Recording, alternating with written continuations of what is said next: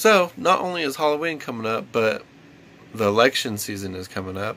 And a lot of uh, these places around is starting to really show their support. You know, like Phoenix, Chandler, Maricopa, Casa Grande, uh, have all started to come out and show their support for Trump and the midterms. Check out Casa Grande, what's going on over there. This is a, a picture we just got in.